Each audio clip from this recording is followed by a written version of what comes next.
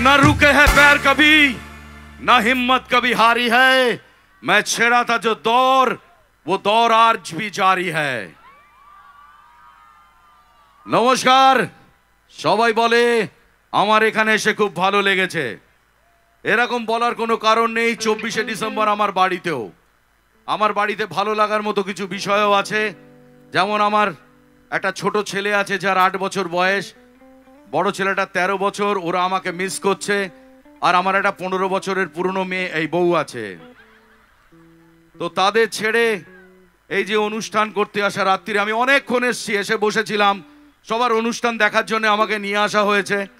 তো, কিন্তু আমরা পৃথিবীতে একজনকে দাম দিই। সেই জায়গাটায় তিনজন থাকে, কে জানেন? আমার মা, আমার ঈশ্বর, ভগবান, আর আমার দর্শক। এর থেকে বড় কেউ নেই আমার কাছে। আমি সকাল থেকে রাত অবধি একটা জিনিসই চাই। ঈশ্বর, তুমি আমায় ঘাম ঝরিয়ে রোজগার করাও যে টাকায় আমার ছেলেরা খাবে। এর থেকে বড় আর কিচ্ছু নেই। এই যে আপনারা এখানে বসে ফাংশন দেখছেন, কত কষ্ট। এই যে ঘেঁষাঘেঁষি করে ফাংশন দেখতে গিয়ে কত প্রবলেম হয়। এই ঠান্ডার মধ্যে দাঁড়িয়ে থাকা, এই ঠান্ডার মধ্যে মাটিতে বসা, এই জলীয় হাওয়া এত শীত পড়েছে, তার মাঝখানে রয়েছেন যে বিশ্বনাথ আসবে, বিশ্বনাথ ফাংশন করবে, এটাই পৃথিবীর সব থেকে বড় পাওয়া আমার কাছে। তাছাড়া ফাংশনের সময় কত কিছু হয়? দুপুরবেলায় কে কি খেয়েছে একবার জানান দেয় মাঝে মাঝে সাইড থেকে। উরি বাবা, প্রাণ বেরিয়ে যাওয়ার মতো। তারপরে ধরুন ভালো সিট পেয়েছেন, আপনার অনেক কিছু পেয়েছে, তাও তো উঠে যেতে পারবেন না, চেপে চুপে বসে থাকতে হবে, চলে গেলে সিট পাবেন না।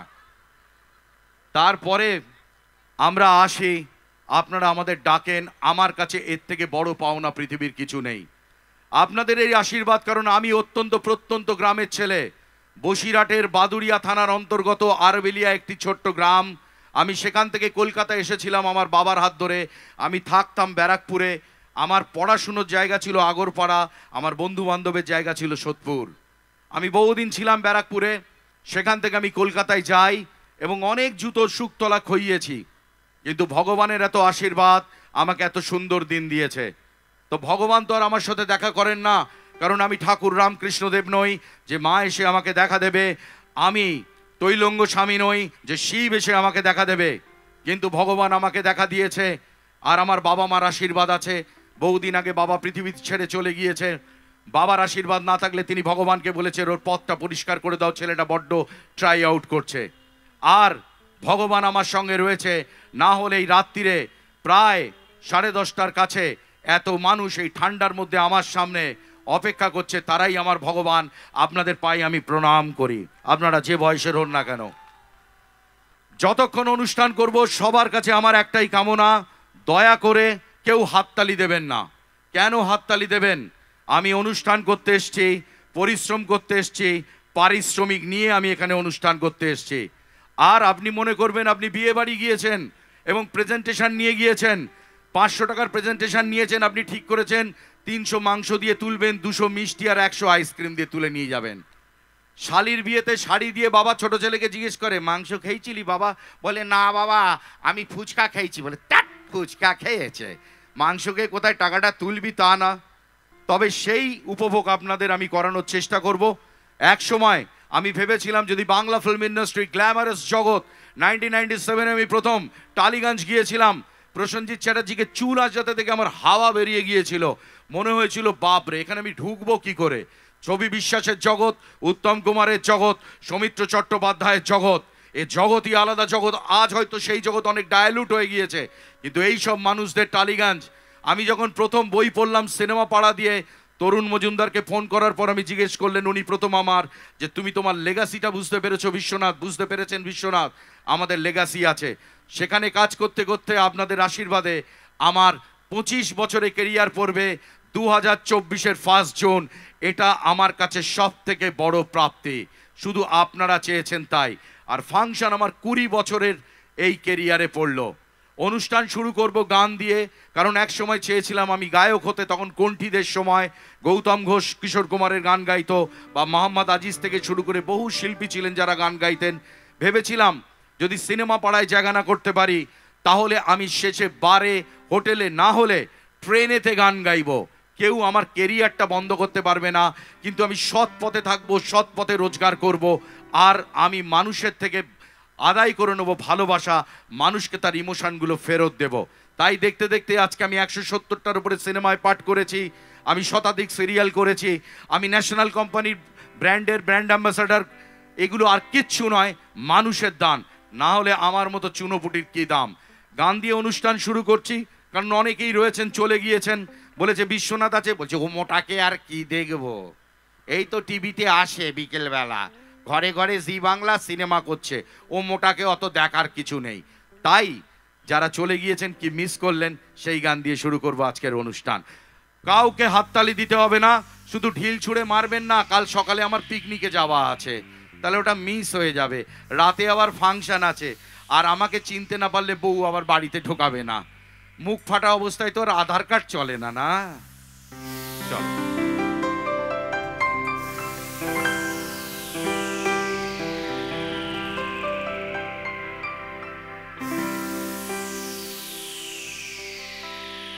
তুমি না কেন হেলে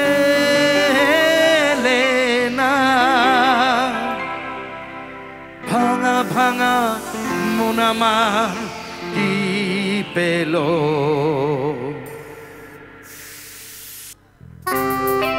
রিবা পারবে রিবা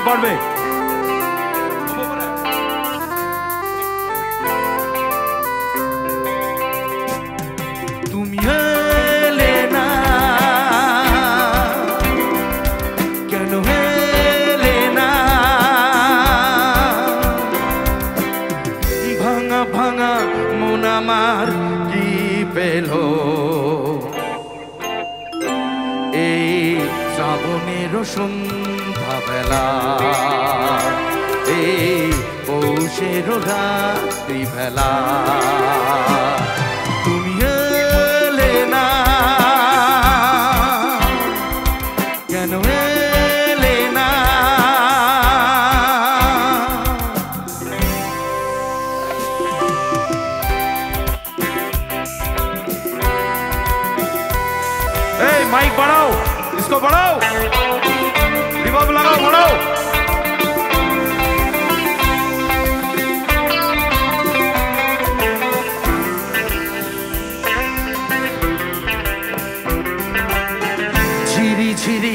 বৃষ্টি ধরাতে তুমি এসে পাশে যে দাঁড়াতে। ঝিরি ঝিরি বৃষ্টি ধরাতে এসে পাশে যে দাঁড়াতে। চমকাত বিজলি কালো মেঘেটাই তাকে তুমি ভুলে গেলে কি হলো? এই শ্রাবণের সন্ধ্যাবেলা এই শ্রাবণের সন্ধ্যাবেলা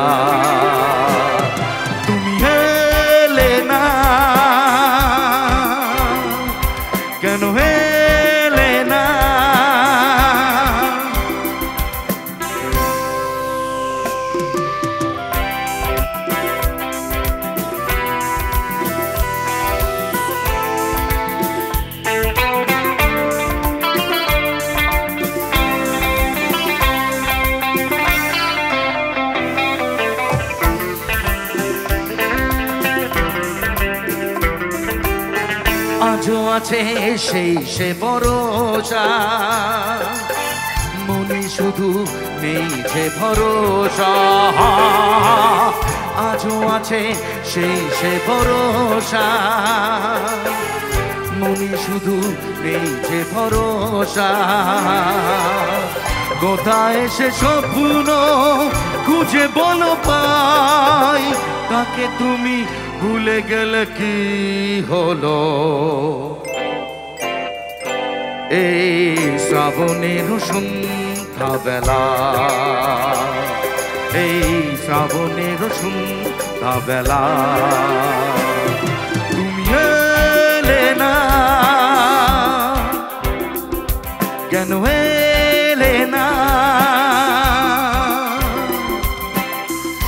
ভাঙা ভাঙা মন আমার কি পেল?